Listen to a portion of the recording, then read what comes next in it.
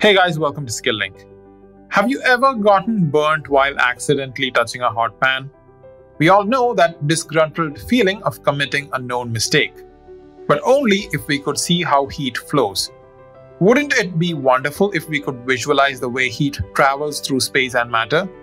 Scientists and engineers have been trying to solve such problems even before we could think about them, and one way of describing these problems is in terms of equations. These equations, called differential equations, are studied widely in mathematics, science, and engineering.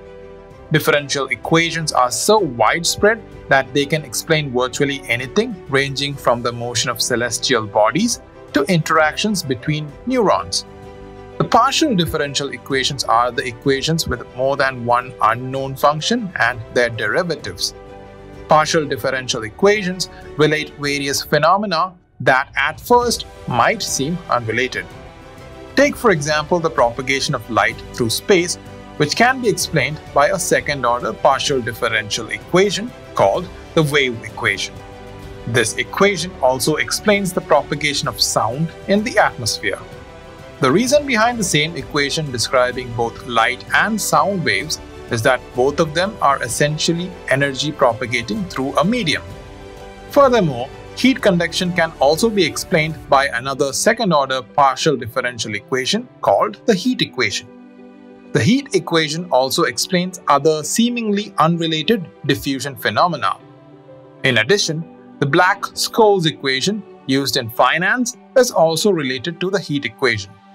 The problems defined in various fields by partial differential equations can be studied by solving them using CAE tools. CAE tools are used for problems in the analysis of various structures, problems in fluid dynamics involving the flow of fluids, and even the problems considering heat transfer. But the systems considered in such problems are almost always complex and continuous. Then how can we solve these problems? Well, one way the method helps in this is by dividing large systems into smaller systems. These smaller systems are simpler than the large ones and are easier to solve for the unknown variables. Then the solved equations are assembled back into the model which explains the larger system. In earlier times, engineers used to solve these equations by hand. This task involved solving complex equations and was rigorous. It was the same until the 1960s. But in 1970, an American engineer by the name of John Swanson founded Swanson Analysis Systems, which later came to be known as ANSYS. ANSYS is a CAE software. It has the capability of performing modeling for various physical models like turbulence, heat transfer, and combustion.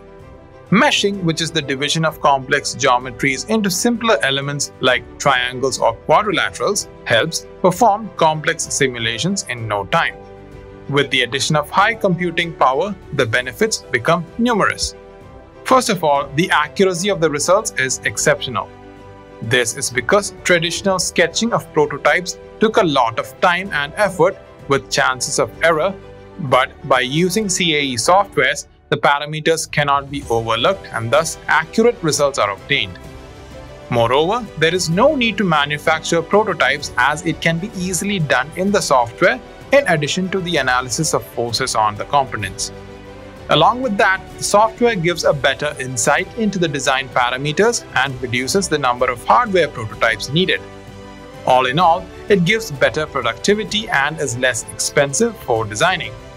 In addition to the use of CAE tools for computational fluid dynamics, the availability of computer-aided designing software like SpaceClaim also helps in developing computer models of three-dimensional solids.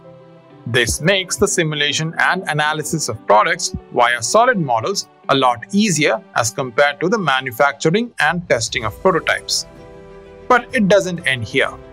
After the simulation and analysis, Oftentimes, there is a need for knowing the parameters of calculations and simulated models of fluid flows.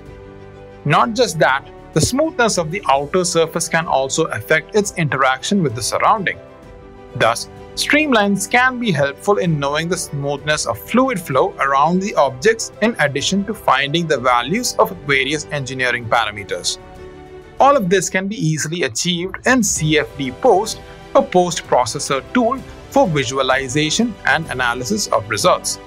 All the things discussed above are essential for any engineer focused on advanced computational fluid dynamics.